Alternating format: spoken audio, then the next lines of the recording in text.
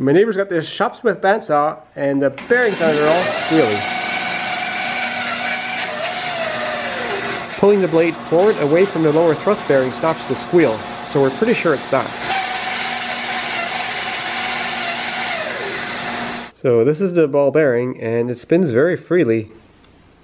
Too freely in fact, because it's got no grease in it. I'll try to get some grease into it, but first I'll try to wash it off a bit. I'm using a little bit of paint thinner here.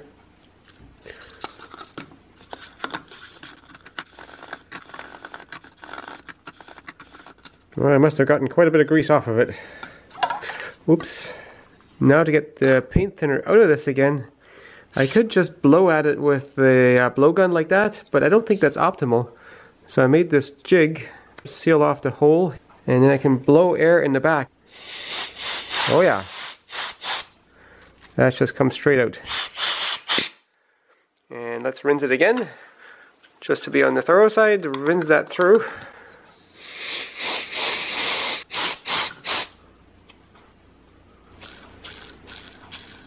Man, that's getting loud.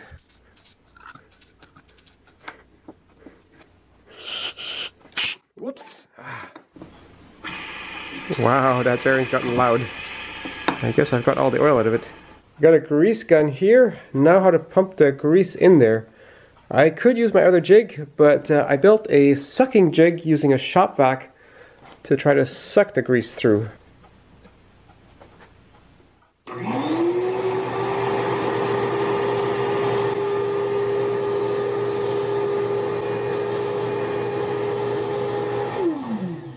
And that doesn't spin like it used to, but uh, no noise.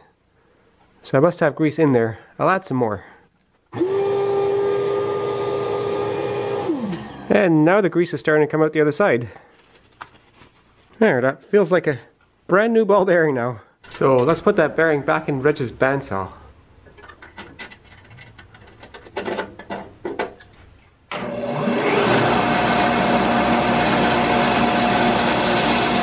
I'm pretty sure this bearing is now quiet, but there's another thrust bearing up here, and that's making lots of noise.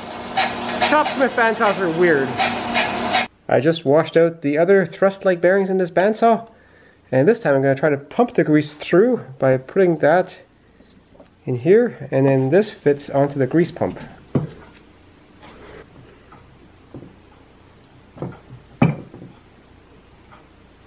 Oh, look at that grease coming through. Excellent. I'll just spin that a bit to make sure the grease gets spread around. Yeah, that's a lot quicker than the vacuum cleaner. And now the next one.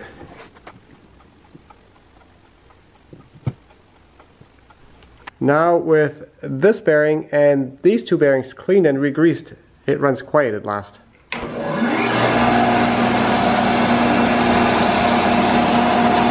No more squealing, but lots of shaking. And I'm sure some of you are wondering about this bandsaw. It's my neighbor Reg's bandsaw and it's kind of weird. The uh, tension is adjusted with this lever thing and there's a nut sort of thing on the screw and an Allen key comes in from this side to adjust the tension. And whoever designed this bandsaw didn't know or didn't believe in crown pulleys because these are completely flat on top. So what it does is it just tracks backwards hard against the bearings and there's an extra thrust bearing up here to make sure it doesn't come off the uh, back of the top wheel plus of course the normal bearings down here and here. And personally I think it runs a bit too fast but it's already at the slowest that the shopsmith can go. I think this procedure is worthwhile for oddball bearings that are easy to get at but if they're hard to get at like the ones in my table saw, I made a video about that a while ago, just get new ones. Ta-da! Well, this still turns easily, but